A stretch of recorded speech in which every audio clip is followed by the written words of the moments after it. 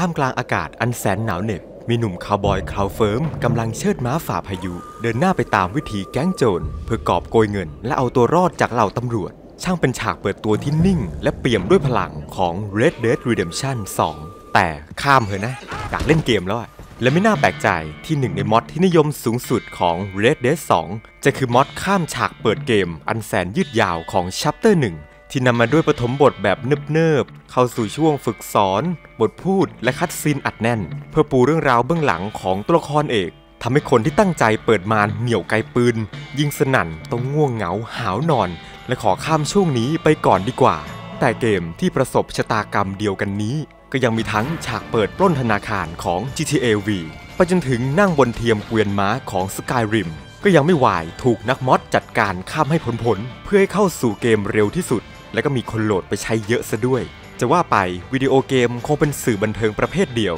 ที่ต้องให้ผู้ซื้อทำความเข้าใจใหม่ทุกครั้งก่อนใช้งาน ซื้อใหม่ 1 เกม ก็ต้องเรียนรู้ระบบใหม่ 1 รอบ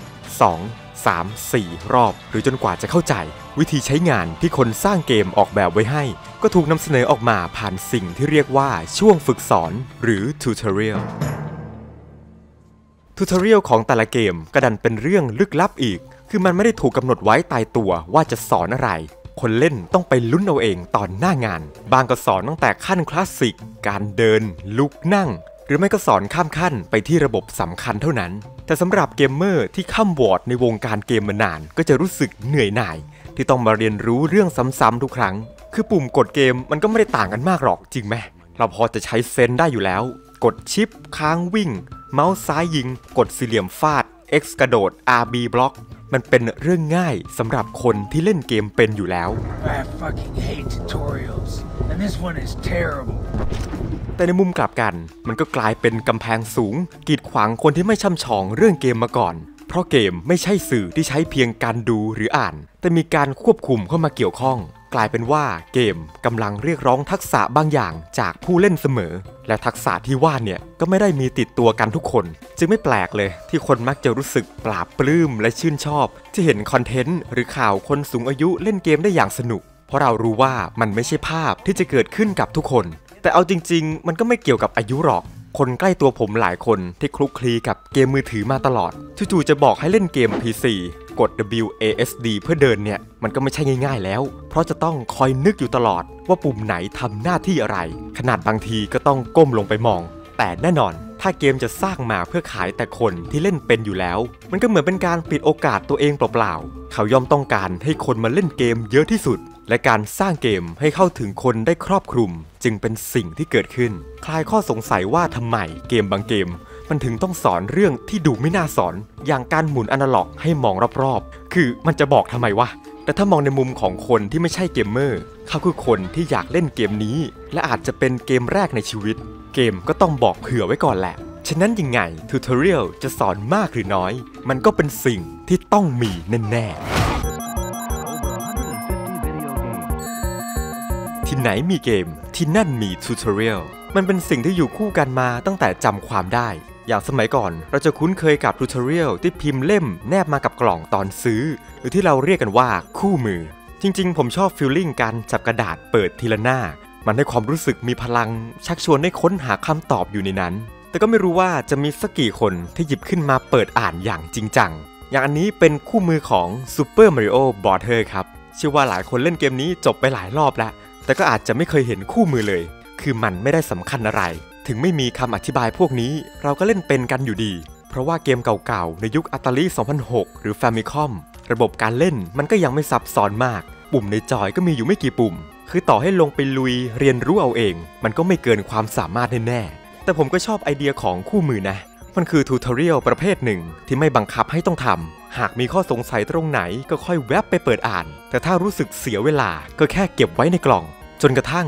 การมาถึงของอินเทอร์เน็ตที่เปลี่ยนทุกสิ่ง การซื้อเกมจะเกิดขึ้นและสิ้นสุดลงบนเว็บไซต์ออนไลน์ และจะให้มาเปิดไฟล์ PDF ดูคู่มือ แล้วเล่นไปด้วยพร้อมกัน มันคงเป็นภาพที่ไม่น่าอภิรมเท่าไหร่ แถมคู่มือเกมสมัยนี้ก็ยาวขึ้นตามความลึกของระบบ อย่างคู่มือ Civilization ภาค 4 ที่อัดจัดเต็ม 200 กว่าหน้า เหมือนอ่านจบได้ปริญญาตรี Civilization อะไรแบบนั้น การหาข้อมูลหรือวิธีการเล่นใน YouTube จึงดูเป็นวิธีที่ง่ายดายกว่า เผลอๆจะสอนละเอียดกว่าในเกมบอกด้วยซ้ำ หลายคนก็อาจจะมองทูตอเรียลเป็นของที่ไม่จำเป็น แต่ถึงจะเป็นอย่างนั้น มันก็ไม่ใช่หน้าที่ของคนเล่น ที่ต้องไปดิ้นรนหาข้อมูลเองทั้งหมด แต่เป็นสิ่งที่คนสร้างต้องเตรียมทุกอย่างให้พร้อมไว้แล้วต่างหาก โดยเฉพาะในยุคนี้ที่เกมมีระบบซับซ้อนมาก เหมือนจับเราโยนเข้าไปอีกโลกใบหนึ่ง ถ้าไม่สอนไม่บอกไม่ใบ้ ไปไม่เป็นแน่นอนทูตอเรียลจึงจำเป็นต้องก้าวข้ามจากหน้ากระดาษ มาปรากฏในเนื้อหาของเกม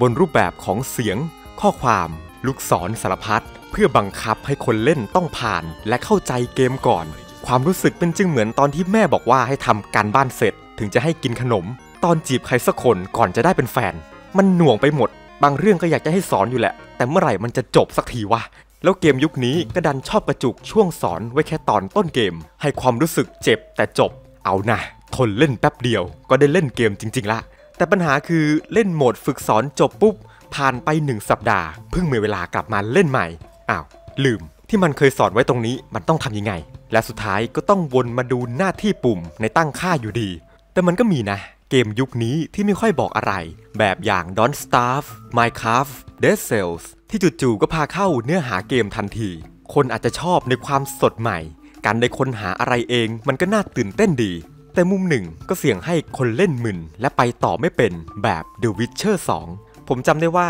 ตอนที่เกมเปิดช่วงแรกๆ เกมมันมีทูตอเรียลน้อยมาก แทบจะไม่แนะนำอะไรเลย ระบบต่อสู้ การเดินทาง ภารกิจทุกอย่างต้องไปรู้หน้างานเอาเอง แล้วมันก็สร้างความงงงวยให้กับใครหลายคน เสียงบ่นที่มากขึ้นมากขึ้น ทีมเกมก็จำเป็นต้องปล่อยอัปเดต 2.0 เพิ่มโหมดฝึกสอนเข้ามาใหม่ ความยาว 30 นาที จนตอนนี้กลายเป็นธรรมเนียมที่ต้องถามคนเล่นก่อนแล้ว ว่าอยากเล่นทูตอเรียลก่อนไหม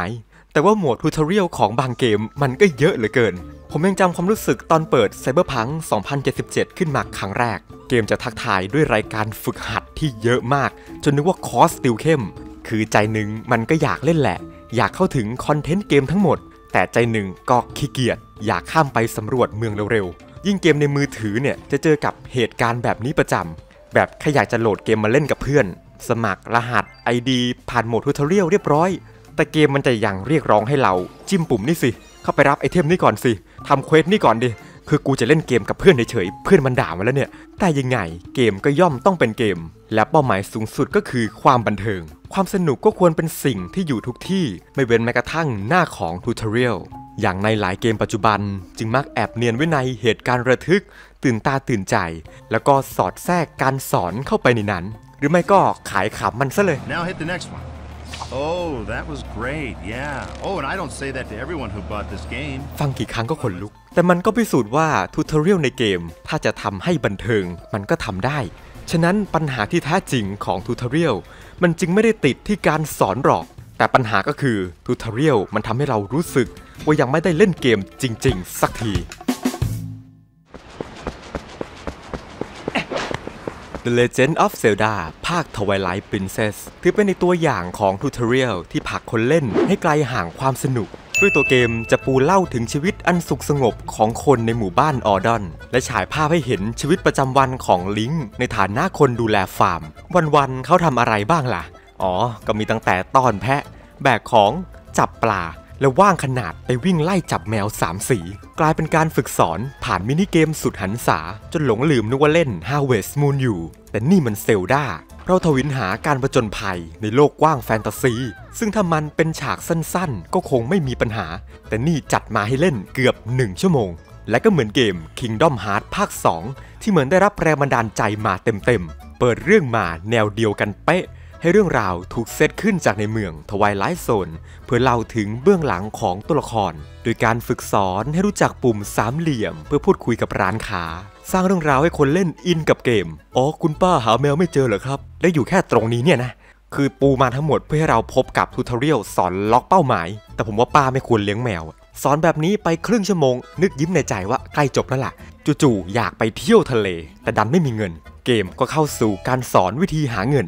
อะ จัดมาดิ ให้ขี่สเก็ตบอร์ดส่งจดหมาย เดาะลูกบอลโชว์ แปะโปสเตอร์ ยันทิ้งขยะ เป็นทุกอย่างให้เธอแล้ว โอเคนี่แหละ ได้เวลาเดินทางแล้วมั้ง แต่ก็ยังมีการละเล่นศึกแย่งบอล แล้วก็พาไปขี่ถุงอะไรอีก นี่จะให้อยู่นี่ทั้งเกมเลยหรือไง เหมือนสร้างเมืองมาแล้วกลัวใช้ฉากไม่คุ้ม สรุปครับ 2 ชั่วโมงเต็มๆ กับโหมดฝึกสอนและมินิเกมแต่ถ้าคิดว่านี่นานแล้วยังมีนานกว่านี้ครับ ใน Assassin's Creed ภาค 3 เกมนักฆ่าล่าประวัติศาสตร์ ที่ครั้งนี้จะพาเราไปลุยในยุคปฏิวัติอเมริกา หน้าปกเกมก็เฉลยไว้เรียบร้อย ว่าภาคนี้เราจะได้รับบทเป็นคอนเนอร์เคนเวย์กับชุดคุมสีขาวสุดเท่มาดนิ่ง แต่เปิดเกมมาปั๊บชดาไอ้นี่มันใครวะ เนื้อเรื่องเกมกลับเซอร์ไพรส์คนเล่น ให้สวมบทเป็นตัวละครเฮเธมเคนเวย์พ่อแท้ๆของคอนเนอร์เคนเวย์เพื่ออารัมพบทให้เห็นถึงที่มาที่ไป พร้อมมอบหมายภารกิจแรก ให้เราเข้าไปขโมยสร้อยปริศนา เกมก็จะต้อนรับด้วยช่วงฝึกสอนสะดอกกรอนประตูที่แสนสนุก กว่าจะได้ซัดกับใครสักคนก็ต้องรอไปถึงฉากบนเรือ เกมก็จะเข้าสู่ช่วงสอนการต่อสู้ พอเรือแล่นมาจอดเทียบอเมริกา เกมก็ปั้นเหตุการณ์ให้เราต้องใช้ปืน เข้าสู่การสอนยิงปืน ให้ยิงครบ 10 คนด้วย เดี๋ยวไม่ผ่าน และยังเหลืออะไรให้สอนอีกนะ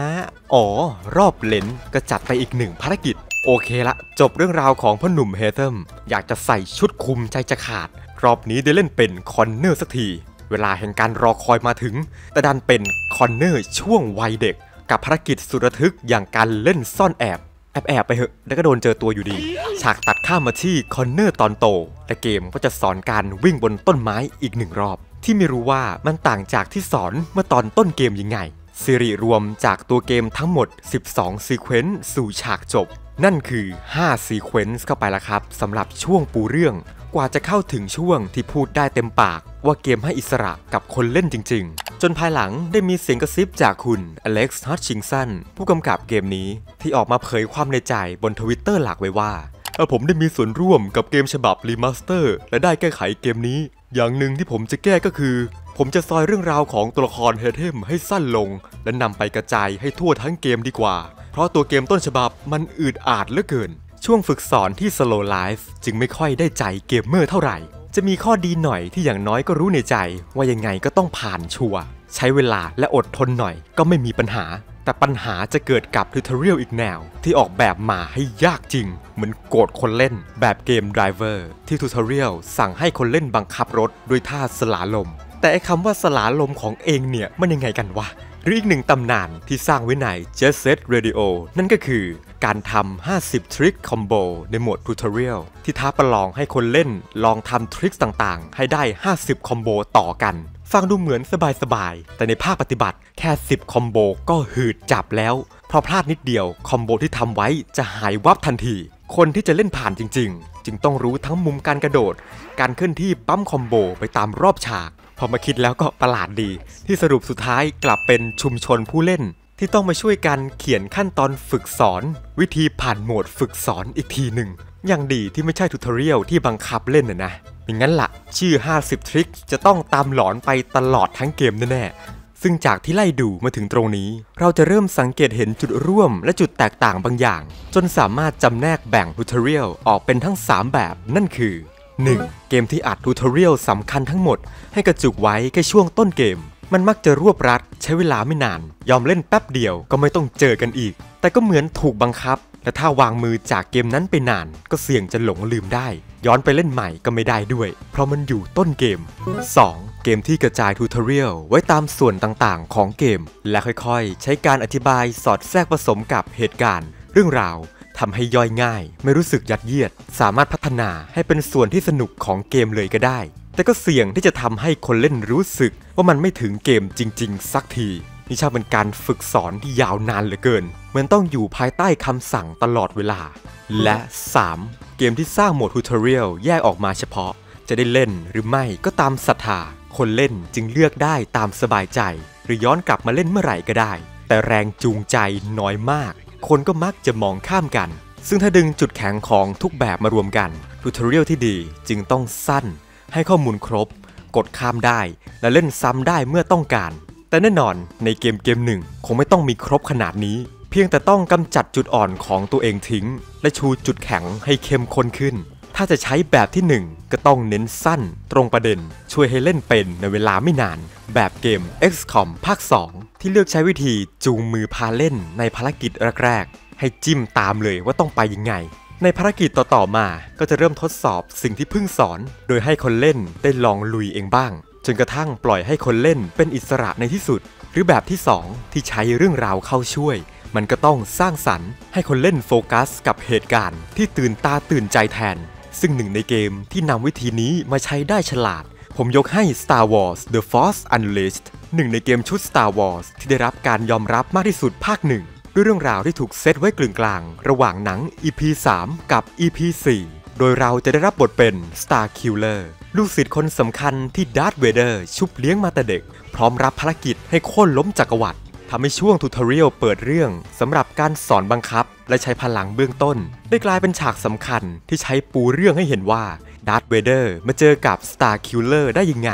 รวมถึงการได้สวมบทบาทเป็นดาร์ธเวเดอร์ไร้เทียมทาน เดินเท่ๆ ใช้พลัง Force ผลักทหาร และสิ่งปลูกสร้างให้บินกระจุยทั่วฉาก มันคือการเติมเต็มความฝันของแฟน Star Wars มาก และกลายเป็นปฐมบทสุดสะใจ ที่ทำให้คนเล่นมีแรงฮึดอยากเล่นต่อ รออัปเกรดตัวละครให้มีสกิลเจ๋งๆ แบบดาร์ธเวเดอร์อีกครั้ง คล้ายกับเกม Psychonauts ที่บอกเล่าเรื่องราวของโครงการฝึกพลังจิตลับๆ ของรัฐบาลสหรัฐ โดยเราจะได้รับบทเป็น Raz นักเรียนคนใหม่ของค่ายฝึกแห่งนี้ ที่มีพลังประตูใจ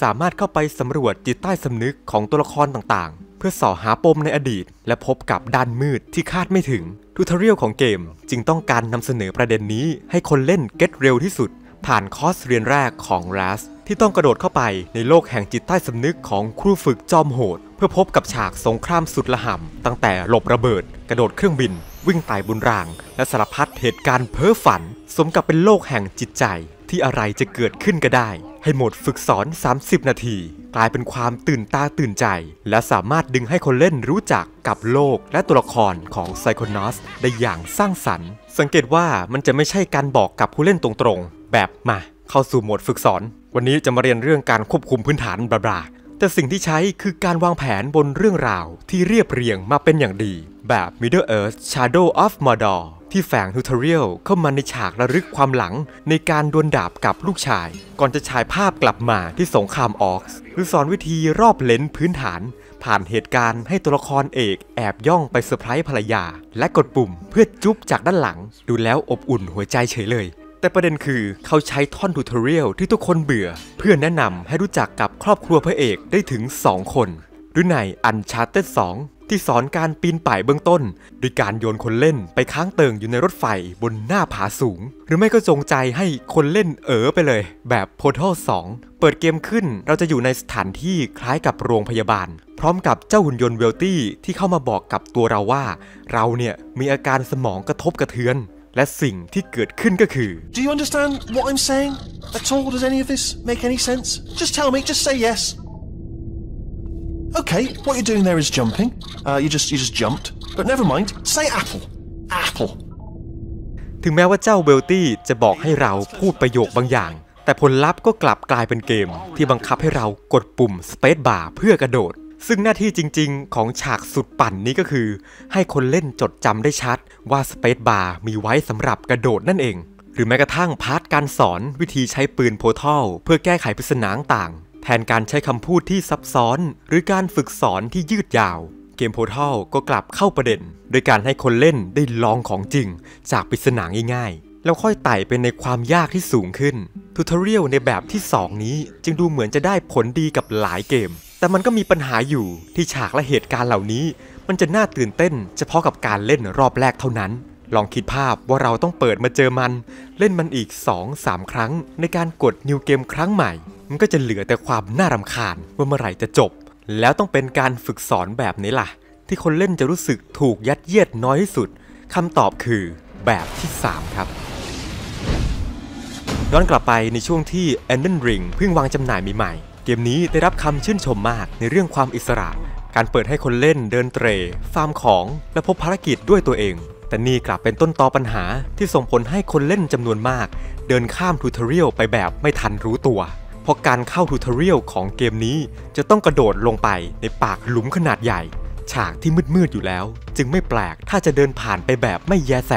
แม้ทีมสร้างเกมจะพยายามสร้าง NPC เป็นชายนั่งคอตกตรงปากทาง เพื่อบอกใบ้ให้เรากระโดดลงไปเถอะ แต่สันดานคนเล่นเกมนี้ที่ค่อนข้างหวาดระแวงกับพยันอันตราย หลุมลึกขนาดนี้โดดลงไปก็ซี้สิวะทางเว็บไซต์ Elden Ring ของญี่ปุ่น จึงถึงขั้นเขียนวิงวอนว่า ขอร้องแล้วนะ กระโดดลงไปหน่อยเถอะ ไม่ตายหรอกไม่ต้องกลัว จนสุดท้ายทีมงานก็ต้องงัดไม้ตาย ปล่อยอัปเดตใหม่เวอร์ชั่น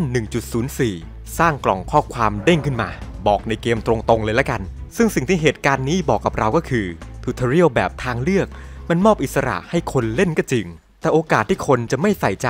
มันก็เกิดขึ้นได้ ฉะนั้นสิ่งสำคัญคือการสร้างแรงจูงใจ